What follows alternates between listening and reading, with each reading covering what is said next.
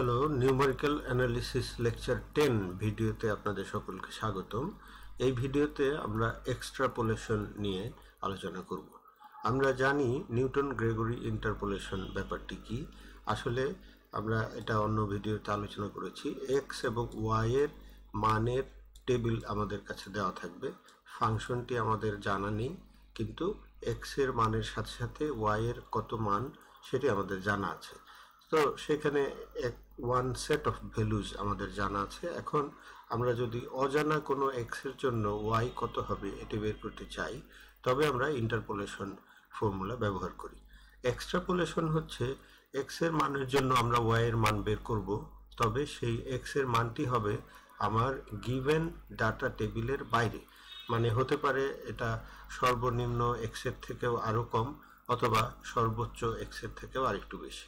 সেই ক্ষেত্রে আমরা যে একই ইন্টারপোলেশন ফর্মুলা ব্যবহার করি এবং ওয়াইয়ের মান বের করি, এই পদ্ধতিটিকে আমরা এক্সট্রাপোলেশন নাম দিয়ে ডাকছি। এই হচ্ছে পার্থক্য, এছাড়া সব একই। সো এখানে আমরা জানি যে আউট অফ টেবিলের জন্য ওয়াইয়ের মান বের করার চেষ্টা করব।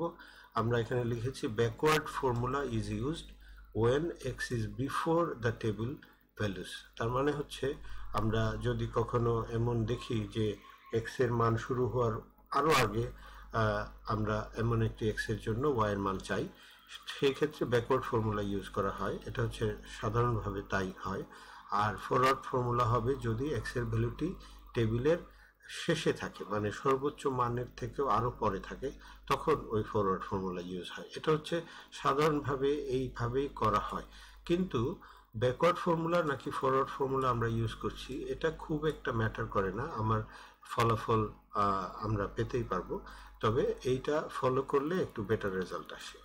আর যেটাই আমরা করি না কেন, সেই ক্ষেত্রে এক্সট্রাপোলেশন আমরা বলছি এবং এই যে পদ্ধতি আমরা ব্যবহার করি সেটা এক্সট্রাপোলেশন ফর্মুলা আমরা একটি উদাহরণ এখানে দেখাচ্ছি, একটি টেবিল দেওয়া আছে। এটা আমরা ইচ্ছা করে একটু ছোট নিয়েছি, চারটি জোড়া। এখানে চারটি এক্সের জন্য চারটি ওয়াই এর মান দেওয়া আছে। আমরা ওয়াই এর মানটি বের করতে চাই যখন এক্সের ভ্যালু থ্রি হবে। তার মানে এক্সের ভ্যালু আমার এখানে এমন একটি মান দেওয়া আছে যেটা টেবিলের শুরুতে। তো এখানে আমরা ব্যাকওয়ার্ড ফর্মুলাটি ব্যবহার করতে পারি। সো প্রথম আমরা টেবিলটি কমপ্লিট করি। টেবিলটি হচ্ছে টোয়েন্টি মাইনাস টুয়েলভ মানে এইট তারপরে থার্টিন তারপরে ইলেভেন এবং সেকেন্ড ডিফারেন্স কলামে গিয়ে আমরা দেখতে পাচ্ছি থার্টিন মাইনাস এইট মানে ফাইভ তারপরে এটা মাইনাস টু তারপরে এটা মাইনাস সেভেন এখন আমরা এক্সের ডিফারেন্স সমান সেটা এইচ আমরা নিলাম তিন, এটা সহজেই দেখা যাচ্ছে। আর হচ্ছে পি এর ভ্যালু আমরা বের করব x minus x three by h x minus x three by h মানে এখানে আমরা আসলে এক্স থ্রি করছি ব্যাকওয়ার্ড ফর্মুলা ব্যবহার করতে চাই সেই জন্য তার মানে এটা হলো থ্রি মাইনাস আমার সর্বশেষ মানটি হচ্ছে থার্টিন এবং ডিভাইডেড বাই এইচ মানে হচ্ছে তিন এবং সেই ক্ষেত্রে এটা মাইনাস টেন বাই থ্রি তার মানে minus three point three three এরকম আসবে পি এর মান। এখন আমরা ফর্মুলাটির মধ্যে যাই, তাহলে ফর্মুলাটি হচ্ছে এফ থ্রি এখন আমার এখানে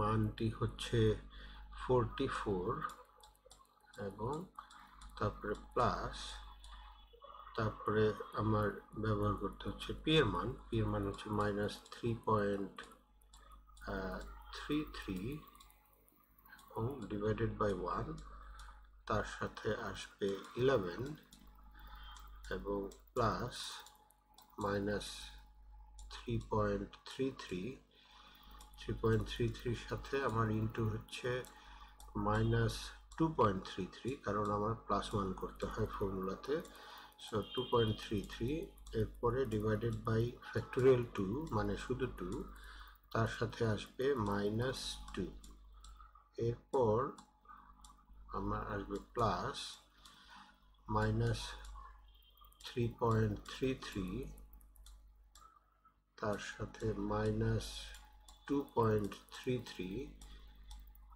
তার সাথে minus one point three three কারণ আমি এখন পি এর সাথে প্লাস টু করছি, তারপর ডিভাইডেড বাই ফ্যাক্টোরিয়াল থ্রি মানে সিক্স এবং তার সাথে হচ্ছে মাইনাস সেভেন এখন আমরা একটু হিসেব করে দেখি কত আসে। এটা হলো ফোরটি ফোর এবং এটা হচ্ছে minus three point three three into eleven তাহলে আমি ক্যালকুলেশনটা দেখি কত হয়। Three point three three into eleven এবং এটা হবে thirty six point three three minus minus thirty six point six three thirty six point six three একটু চেক করি হ্যাঁ। তারপর আমরা পরের ক্যালকুলেশনে যাচ্ছি।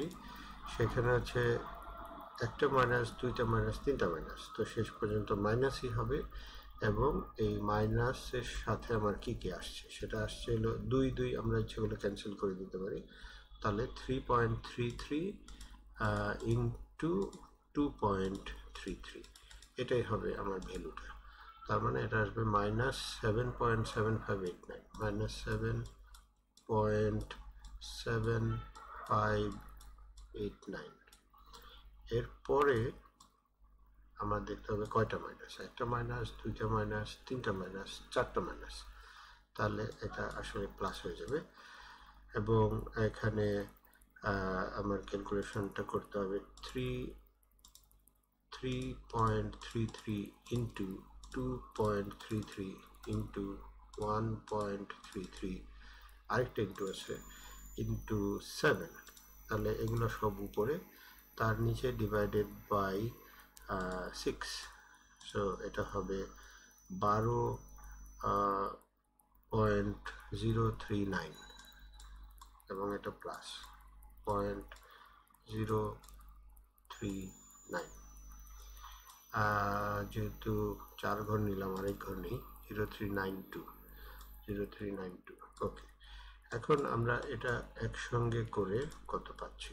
একসঙ্গে করে এটা হলো forty four minus thirty six point six three আবার minus seven point seven five eight nine তারপরে plus twelve point zero three nine two এটা করে আমার দেখা যাচ্ছে এখানে আসছে eleven point six five eleven point six five মোটামুটি এই হচ্ছে আমার এই এফ থ্রি এর মান।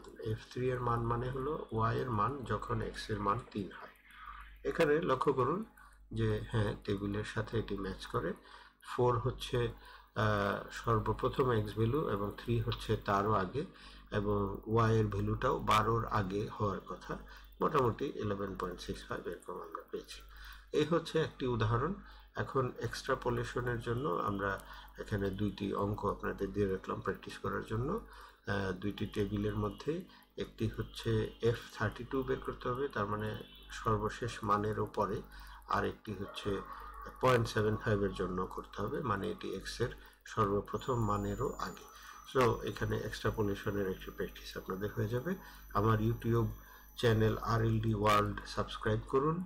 আমার personal website R world dot com আপনারা ফলো করুন। তবে অন্যান্য ভিডিও সম্পর্কে আপনারা নোটিশ পেয়ে যাবেন।